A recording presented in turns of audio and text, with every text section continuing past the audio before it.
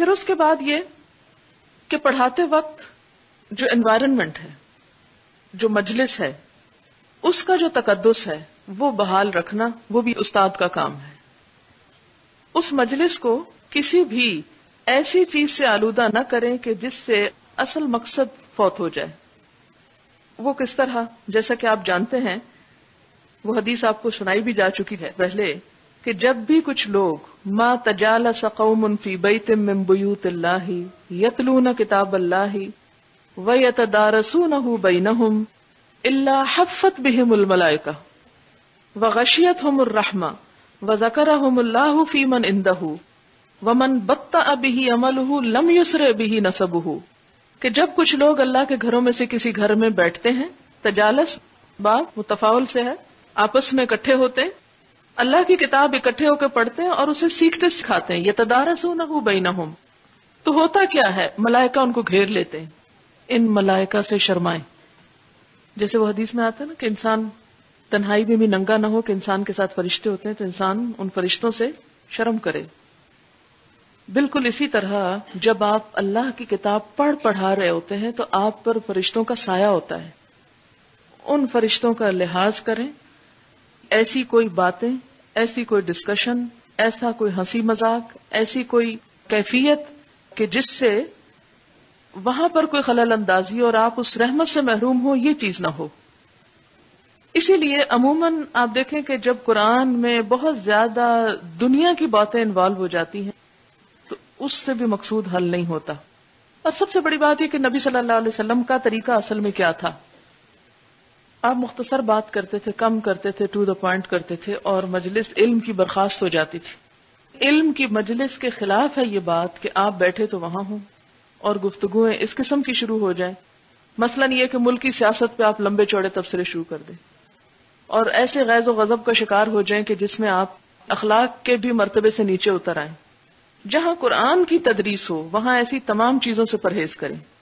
اس کا یہ مطلب نہیں کہ آپ معاشرے کی کسی برائی کی طرف پوائنٹ آؤٹ نہ کریں، وہ کریں، لیکن اسے غالب نہ آنے دیں اصل مقصد کے اوپر۔ کیونکہ جس تعلیم قرآن میں، جس تدریس قرآن میں تدریس سے ہٹ کر دوسرے مقاصد شامل ہو جائیں، وہ قرآن کے مزاج کے خلاف اور اسے مطلوبہ نتائج حاصل نہیں ہوں گے۔ اب مثلاً قرآن پڑھا رہے آپ نے مثال دی ٹیلی ویژن کی۔ لوگ وہاں شروع ہو جائیں آپ کو باتیں بتانا یا مثالیں دینا۔ اور پھر ٹیلی ویژن کے کسی پروگرام کے اوپر کوئی گفتگو شروع کر دیں، وہ لڑکی یہ کہہ رہی تھی، لڑکا یہ کہہ رہا تھا۔ ان مثالوں کی بالکل ضرورت نہیں۔ نہ یہ نقشے کھینچنے کی ضرورت ہے اس میں۔ سب کو پتا ہے نا انڈرسٹوڈ بات ہے کہ کس قسم کے ڈائلگز ہیں، کس قسم کی باتیں ہیں، کیا ہیں۔ اس سے کیا ہوگا؟ آپ راستے سے ٹریک سے ہٹ جائیں گے۔ اور ایسی مثالیں آپ کے اصل وہ جو مقصد ہے، اسے نقصان دیں گی۔ نبی صلی اللہ علیہ وسلم کی تدریس میں یہ عنصر بہت کم تھا۔ خود قرآن کے اندر آپ دیکھیں کہ شخص کا نام نہیں لیا جاتا، لیکن اس کا سارا کریکٹرسٹکس جو ہیں وہ بتا دیے جاتے ہیں۔ ارئی تلزی یو قزب الدین فضال کلزی ید یتیم ولا حد اللہ تعامل مسکین یہ تنقید ہے ایک معاشرے کے ایک کردار پر۔ اس تنقید کا انداز دیکھیں۔ فویل للمسلین الذین هم من صلاتهم ساہون ایک جنرل بات ہے پرسنل بات نہیں ہے اس میں۔ اسی طرح وہ جیسے آتا ہے ارأیت الذی ینہا عبدا اذا صلى؟ ارأیت ان کان علی الہدا او امر بالتقوى؟ یہ بھی تنقید ہے ایک کردار پر۔ اسی طرح سورۃ الحاقہ میں ایک آپ نے کردار پڑھا۔ پھر اسی طرح ایک اور کردار آتا ہے کہ جو قرآن کو چھوڑ کر اور چیزوں میں لگ گیا، اس کی مثال کتے کی سی ہے۔ ہاں؟ تو یہ سارے تنقید ہے۔ تو جب آپ معاشرے کی کسی خرابی کے اوپر تنقید بھی کرنے لگے تو اس کی بھی لمٹس ہونی چاہیے۔ یہ نہ ہو آپ کا اصل سبق پیچھے چلا جائے اور آپ ان نیگیٹو باتوں کے ذکر میں اتنے مشغول ہو جائیں کہ لوگ بد مزہ ہو کر اٹھیں۔ اس بدمزگی سے بچنا چاہیے۔ پھر اسی طرح وغشیت ہم رحمہ رحمت ان کو ڈھانپے ہوئے ہوتی ہے۔ اور اللہ تعالیٰ ان لوگوں کا ذکر کرتے ہیں اپنے پاس فرشتوں میں۔ اب آپ دیکھیں کہ آپ اس وقت ایک خاص حصے میں ہیں۔ اللہ تعالیٰ آپ کا ذکر کر رہے ہیں فرشتوں میں، یکا یک آپ ایسے کہہ کہے اور ایسی باتیں لطیفے اور معلوم نہیں کیا کیا شروع کر دیتے ہیں۔ تو اللہ تعالیٰ کیا کہیں گے کہ یہ میرے بندے بیٹھ کے تو لغویات بول رہے ہیں اس میں۔ کس نام پہ؟ میرے نام پہ اکٹھے ہوئے ہیں اور انہوں نے کام کیا شروع کر دیا۔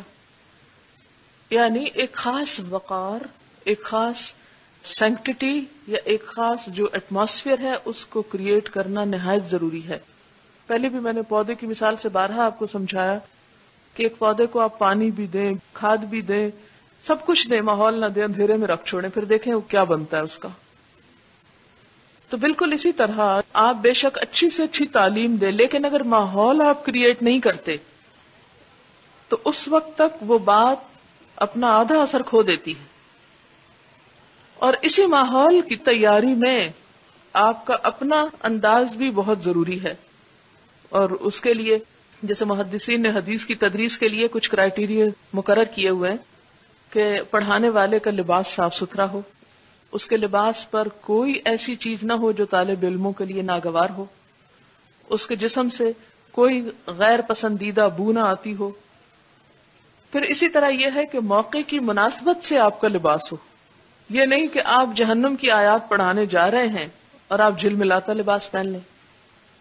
اس سے آپ کا اپنا موڈ بھی نہیں بنے گا۔ خود اپنا دل بھی نہیں چاہے گا۔ کیونکہ آپ دیکھیں کہ جس قسم کا آپ نے لباس پہنا تھا نا، آپ کے تاثرات، آپ کا وہ سب کچھ ویسا ہی ہو جاتا۔ یا جس ماحول کے اندر آپ چلے جاتے۔ ہیں مثلا اگر آپ نے کبھی شاپنگ کی ہو شاپنگ کرتے کرتے اگر آپ کسی ریڈی پہ کھڑے ہوں تو آپ کا اسٹائل بولنے کا، آپ کی فیلنگز کچھ اور ہوں گی۔ اگر آپ کسی سپر مارکیٹ میں چلے جائیں، جہاں چمکتے فرش ہوں، چیزوں کے انبار ہوں، صاف ستھرا ماحول ہو، تو آپ کے اندر کے احساسات بالکل ہی بدل جائیں گے۔ فرق ہوتا ہے۔ جمعہ بازار کی شاپنگ میں اور جنا سپر کی شاپنگ کرتے وقت واضح فرق ہوتا ہے نا۔ اچھا اسی طرح آپ کسی ریڑی سے دہی بھلے لے کے کھا رہے ہیں اور آپ چلے جاتے ہیں کسی فائیو سٹار ہوٹل میں یا ریسٹورینٹ میں، تو آپ وہاں پر دیکھیں کہ کیفیت کیا ہوتی۔ ایٹیکیٹس کے ساتھ ساتھ وہ جو آپ کی اپنی فیلنگ ہے نا وہ بدل جاتی۔ اچھا اسی میں کاؤنٹ کرتی ہیں یہ چیزیں کہ کلاس روم کے اندر بیٹھے کس طرح ہیں لوگ۔ اگر آپ کہیں بیٹھے ہیں، لوگ دور دور بیٹھے ہیں، کوئی ادھر منہ کیے ہوئے، کوئی ویسے بیٹھا کوئی جیسے، کوئی ٹیک لگائے ہوئے کچھ اور کر رہا تو آپ کہیں اب ان کو کہا تو یہ آئیں گے ہی نہیں اور مائنڈ کر جائیں گے اور ناراض ہو جائیں گے۔ نہیں، ٹھیک ہے، کچھ لوگوں کی تو مجبوری ہوتی ہے کہ وہ بیمار ہیں۔ تو بیماروں کی معذوروں کی تو مجبوری اللہ تعالیٰ بھی دیکھتے ہیں۔ لیکن ایک شخص جوان ہے صحت مند ہے، سب کچھ صرف وہ اپنے موڈ میں بیٹھا ہوا ہے، تو موڈ میں بیٹھنے سے قرآن کی تعلیم نہیں ہو سکتی۔ اسی لیے اس میں جیسے ٹیک لگا کر اگر لوگ بیٹھے ہیں، تو اس چیز کو بھی آپ نوٹ کریں۔ پھر اسی طرح سستا کے بیٹھے ہوئے ٹیڑھے میڑے بیٹھے اور اس میں سب سے پہلے تو آپ خود سیدھے ہو کے بیٹھے اگر آپ ہی ٹیک لگا لیں، تو بات کچھ اور ہو جائے گی۔ یعنی پوری طرح الرٹ ہو کے بیٹھے لوگوں کو بھی الرٹ کر کے بٹھائیں۔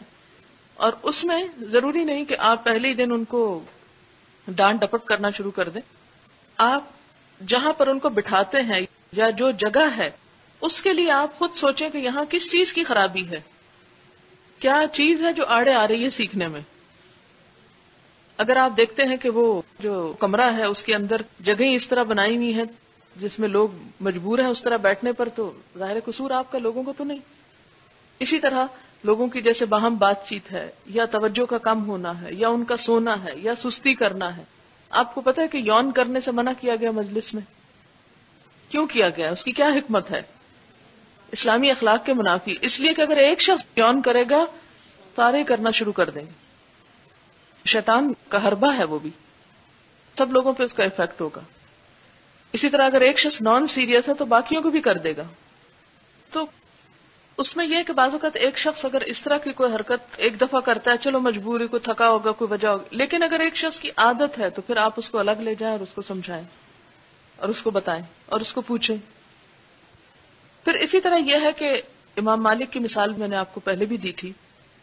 معلوم نہیں آپ نے ان کا سیرا میں وہ واقعہ پڑھا یا نہیں کہ جب وہ حدیث کی کلاس میں بیٹھتے تھے پڑھانے کے لیے تو انتہائی صاف ستھرا لباس پہن کر۔ یعنی خاص لباس اس مجلس کے لیے پہن کر آتے تھے۔ انتہائی باوکار انداز میں بیٹھتے تھے۔ انتہائی بہترین خوشبو اس وقت لگاتے تھے۔ اور وہ واقعہ بھی یاد ہوگا کہ کتنی دفعہ بچھو نے کاٹ لیا، رنگ زرد پڑ گیا، مجلس ڈسٹرب نہیں کی۔ ہلے نہیں کہ یہ حضور صلی اللہ علیہ وسلم کی احادیث کی مجلس ہے۔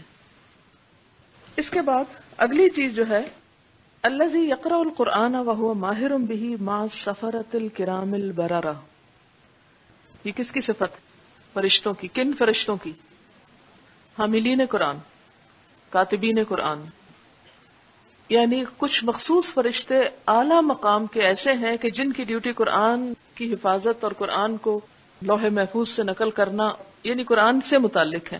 فرمایا کہ انسانوں میں سے جو لوگ قرآن کے حامل ہوتے ہیں اور اس میں مہارت حاصل کرتے ہیں، وہ انہی کے مقام پر۔ اور اس آیت کی تفسیر میں میں نے آپ کو ایک خاص بات بتائی تھی، کچھ یاد ہے کسی کو؟ قرآن لانے والوں کی خصوصیات اللہ تعالیٰ نے یہ بتائی ہیں، السفر، الکرام اور البررا یہ تین چیزیں۔ فرمایا کل انہا تذکرہ۔ ہرگز نہیں، یہ تو ایک نصیحت ہے، کیا؟ قرآن۔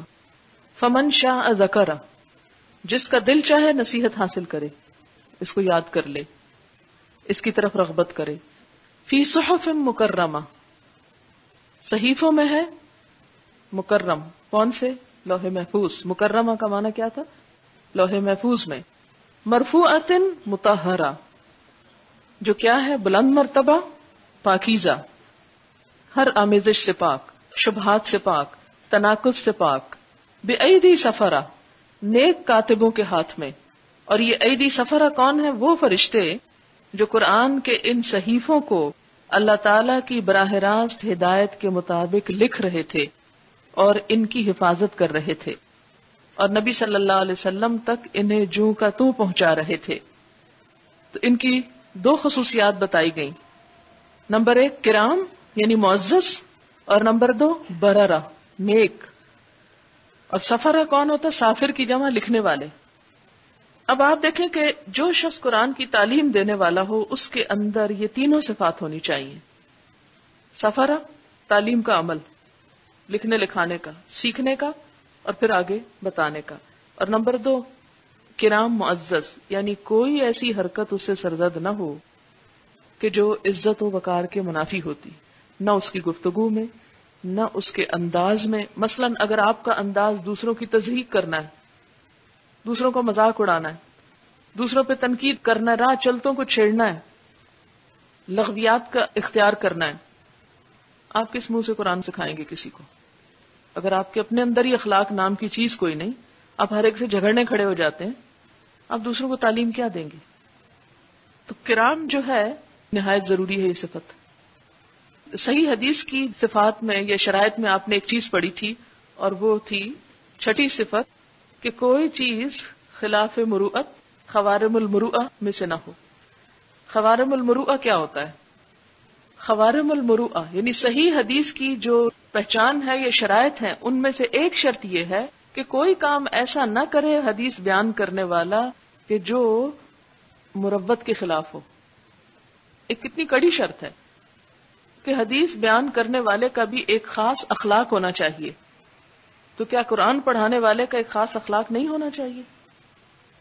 اس کے اندر وہ چلبلا پن، جسے پنجابی میں ہوچھا پن کہتے ہیں، تنگ دلی، تنگ نظری، تعصب، ان سارے منفی جذبات سے پاک ہونا چاہیے۔ اگر آپ بچگانا حرکتیں کر رہے ہیں، بچے بنے ہوئے، تو اس سے کیا ہوگا؟ قرآن کے مزاج کے خلاف ہے۔ یعنی قرآن کا ایک مزاج ہے۔ اور جب تک آپ اس مزاج کے ساتھ ہم آہنگی کر کے اسے آگے نہیں بتائیں گے، وہ افیکٹو نہیں ہوگی بات۔ اس کا وزن نہیں ہوگا۔ اپنے اندر وہ سوز، وہ مزاج، وہ تاثرات پیدا کرنے کی کوشش کریں۔ مثلا آپ کسی کو بتانے لگے پڑھانے لگے پڑھانے سے پہلے صرف دو سیکنڈ کے لیے رک جائیں، اپنے جسم کو ٹھہرا لیں۔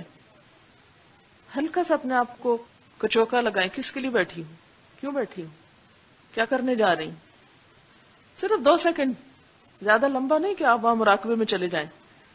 لیکن جب آپ کرسی پہ بیٹھ جائیں، جب آپ اپنی نشست پہ بیٹھ جائیں، تو بیٹھتے ہی فوراً سوچیں، کس کے لیے بیٹھی؟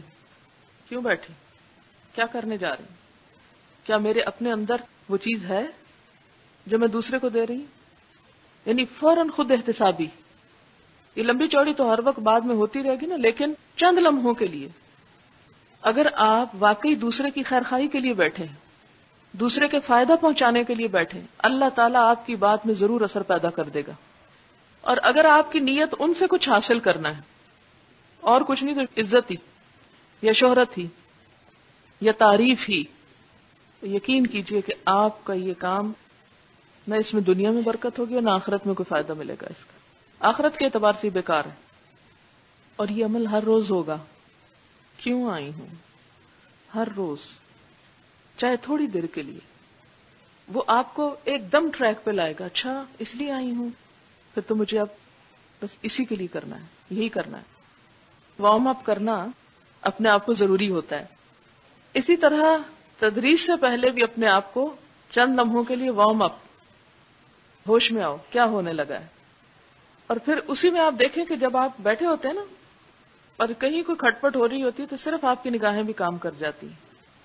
لیکن اگر آپ کے اپنے اندر اس وقت ٹہراؤ نہیں، آپ خود بھی ہل رہے ہیں، دوسروں کو بھی ہلا رہے ہیں، تو سب کچھ شیکی ہی رہے گا۔ ساری زندگی کے لیے لوگوں کو بھی یقین نہیں آئے گا، نہ آپ کو خود آئے گا۔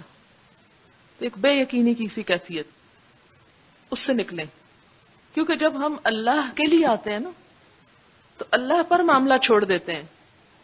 اور سارے دلائل اللہ کے حوالے کر دیتے، یا اللہ، آپ پہنچائیں گے، آپ دیں گے۔ کیوں؟ وما رمیتا از رمیتا ولا کن اللہ رما نبی صلی اللہ علیہ وسلم جب جنگ بدر میں آ کے دشمنوں پہ ریت پھینکتے ہیں، تو اللہ تعالیٰ قرآن میں اس پہ کیا تبصرہ کرتے ہیں؟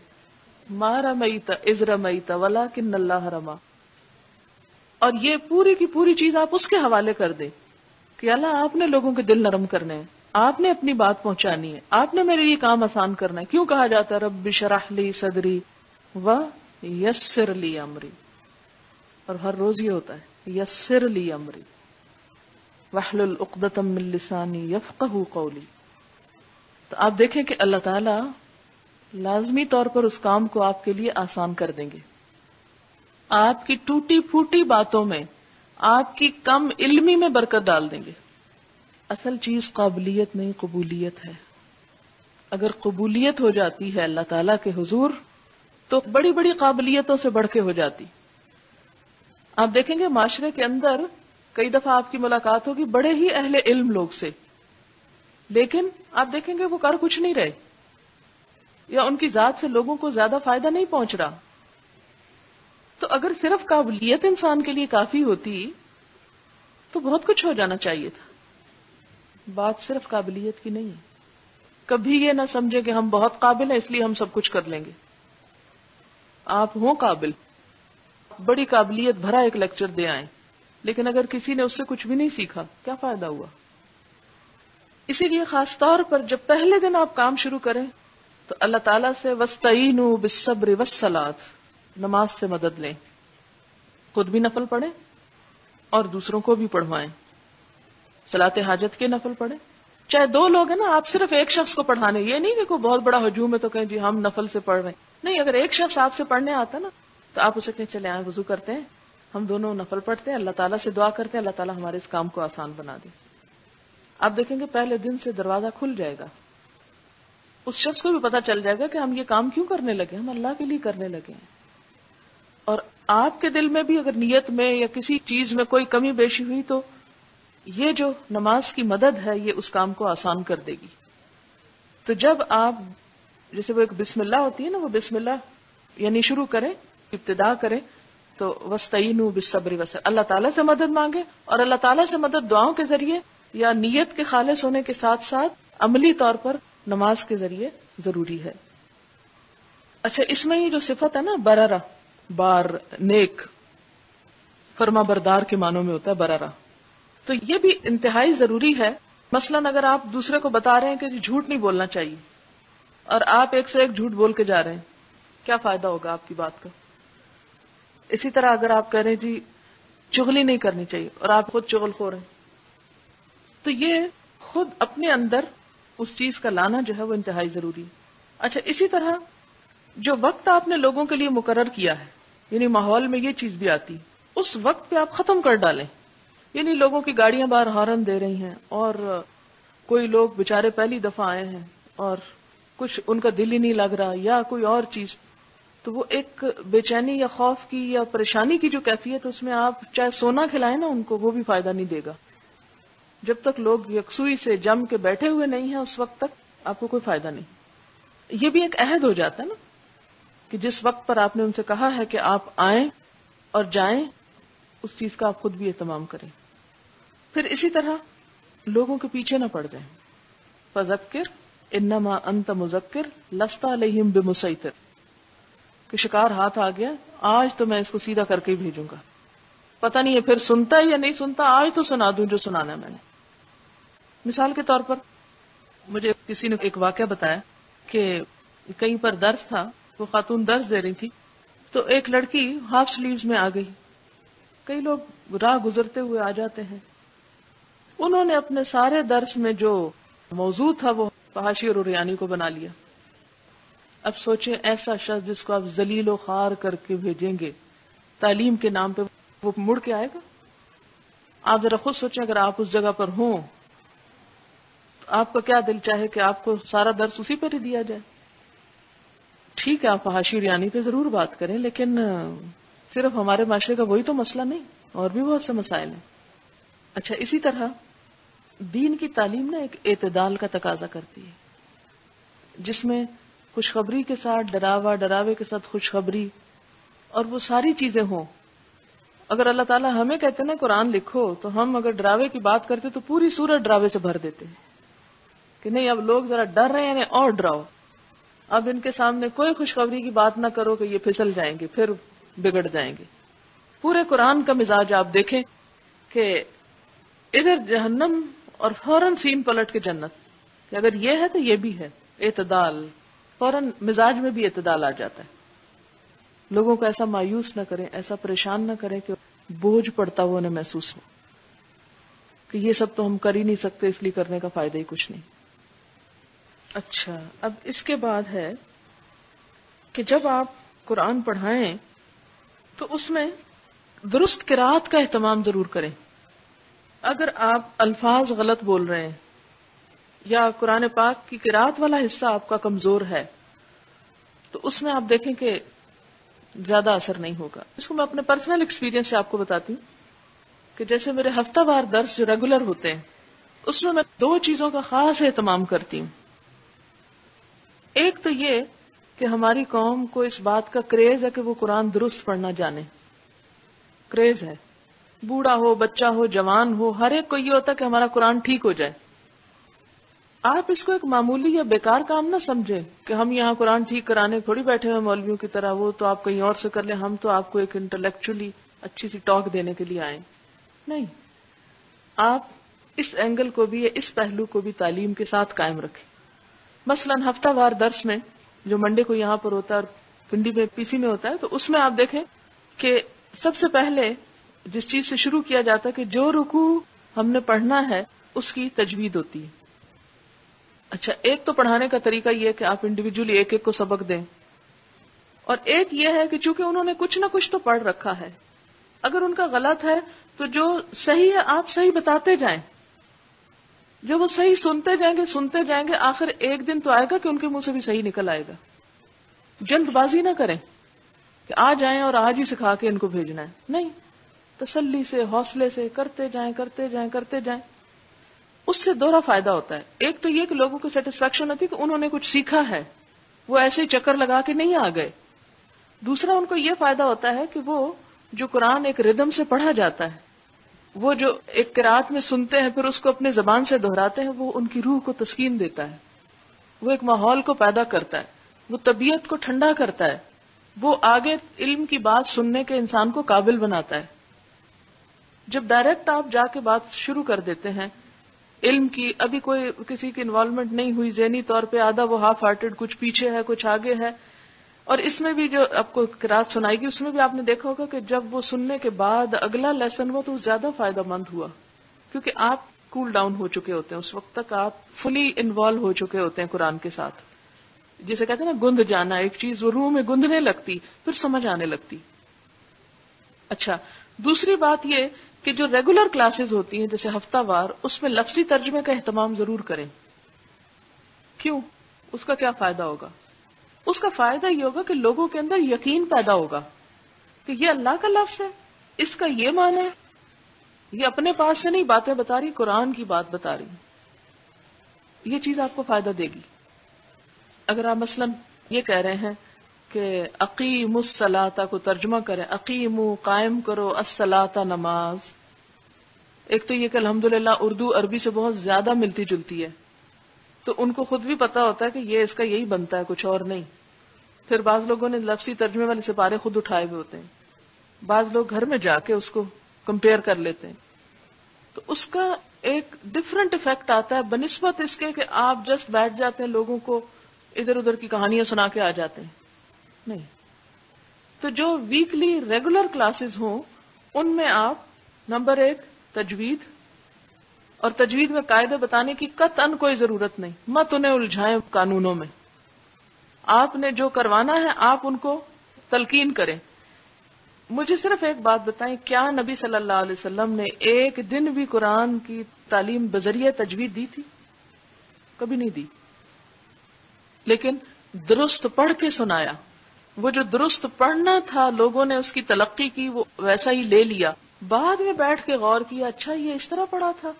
یہ کیوں پڑھا؟ پھر غور و فکر کر کے یہ قانون نکلے۔ اب ہم جو تجوید سے پڑھتے نا، ہم نے پھر اپنی سہولت کے لیے اس کی کیٹیگریز کر لی کہ یہ یہاں پر اس طرح سٹاپ کرنا ہے، یہ کرنا ہے، غنہ کرنا ہے اخفا اظہار، تاکہ آسان ہو جائے کام۔ لیکن عام پبلک جو ہوتی ہے، ان کو اگر آپ قانونوں اور قاعدوں کے ساتھ پڑھانا شروع کرے تو وہ گھبراہ اٹھتے ہیں۔ تو ان پہ ناروا بوجھ نہ ڈالیں جو وہ اٹھا نہ سکیں۔ یعنی ان کے مینٹل لیول کے مطابق ان کو وہ اصل مقصود دے دیں۔ اچھا اب مثال کے طور پر آپ دیکھیں کہ ہمارا جیسے منڈے کا درس ہوتا ہے تو اس میں شہلا پہلے کرواتی ہیں تجوید۔ اور شہلا میری ان اسٹوڈینٹس میں سے ہے جن کو میں نے سب سے پہلا سمر کورس اسلام آباد میں کروایا تھا۔ اور مجھے یاد ہے کہ اس وقت جو میں نے بہت سٹریس کیا تھا میں نے قاعدے بھی بتائے تھے ان کو تجوید کے مختصر سے۔ لیکن جو میرا اصل سٹریس تھا وہ اس بات پر کہ قرآن کو حلق تک نہیں، حلق سے آگے سے پڑھیں۔ تجوید کہاں تک جاتی ہے؟ اکسا حلق تک نا۔ آپ اکسا حلق سے آگے جائیں۔ آگے کیا ہے؟ دل ہے۔ جب ہم قاعدے قوانین پڑھتے ہیں تو ہم بس یہاں تک رہ جاتے ہیں۔ یہاں تک تو آنا ہی چاہیے ہمیں۔ ظاہر کدھر سے نکلیں گے سارے مخارج الفاظ وغیرہ۔ لیکن جب عذاب کی آیت ہو یا جزا کی یا خوشخبری کی، تھوڑا سا آگے چند انچ بڑھ کے اس کو ساتھ انوالو کریں۔ تو الحمد للہ شہلا ان لوگوں میں سے جس نے یہ بات بہت اچھی طرح پلے باندھ لی۔ اور اس کا لوگوں کا بہت فائدہ ہوا الحمد للہ کہ وہ جو چیز تھی ہنڈریڈ پرسینٹ مجھے سیٹسفیکشن ہوگی کہ یہ کام اب مجھے نہیں کروانے کی ضرورت، یہ وہ کر سکتی ہے۔ اور میں نے اس کے سپرد کیا اور میری اپنی یہ فیلنگ ہے کہ وہ مجھ سے زیادہ بہتر کام کر رہی ہے۔ یہ میری اپنی فیلنگ ہے کہ مجھ سے زیادہ بہتر انداز میں۔ کیونکہ وہ حدیث میں بھی آتا نا کہ ربا حامل فکن علام من ہوا افقا ہو من ہو کہ بعض لوگوں کو آپ بتا دیتے ہیں بات وہ آپ سے زیادہ اچھا کام کرتے ہیں۔ تو اس میں پھر یہ ہوتا ہے کہ ایک تو میرا لوڈ کم ہو جاتا ہے۔ دوسرا یہ کہ وہ چیز مینٹین ہے۔ کہ نہ تو لوگوں کے سماعت پہ بوجھ ہو، نہ اس میں شرل ہو، نہ اس میں بہت جوش ہو، ٹھنڈے ٹھنڈے لہجے میں وہ بات کنوے کی جائے جو قرآن کا اصل مقصود ہے اور دل کی انوالومنٹ کے ساتھ۔ میں نے یہ عموماً دیکھا کہ جب لوگ اپنی آوازوں کو خوبصورت کرنے لگتے ہیں نا، تو جو قرآن کی اصل خوبصورتی ہے وہ ماند پڑ جاتی۔ کیا آپ نے کبھی اس بات پہ غور کیا؟ مثلا ہمارے ٹپکل کراط جو ہے پاکستانی، اس میں کیا ہوتا ہے؟ کسی کالج میں کمپٹیشن ہوتا ہے، کراط کا، ہوتا کیا اس میں؟ قواعد ایکسیلنٹ مخارج ایکسیلنٹ آواز بہترین، خوبصورت افیکٹ زیرو کیوں؟ جب آپ تجوید کریں، قواعد بھی پڑھیں، مخارج بھی اچھے ہوں، آواز بھی اللہ آپ کو اچھی دے اور اس کو کوشش سے اور اچھا آپ کر سکتے ہیں، لیکن دل کی انوالومنٹ نہ بھولیں، کیونکہ دل پہ اترا نا قرآن۔ کیا آتا ہے قرآن پاک میں؟ نزل اللہ قلب کا تیرے دل پر اتارا ہے۔ تو جب دل شامل نہیں ہوگا، جو اس کا اصل گھر اور مقام ہے، تو لوگ وقتی طور پہ کہیں گے ہاں واہ واہ، بہت اچھی خوبصورت کراط ہے۔ کیونکہ لوگ عموماً اچھی کراط کو انجوائے کرتے ہیں، لیکن وہ جو ہمارا اصل مقصود ہے نا، کہ دل بدلے، وہ نہیں ہوتا۔ وہ ضرور قائم رہے۔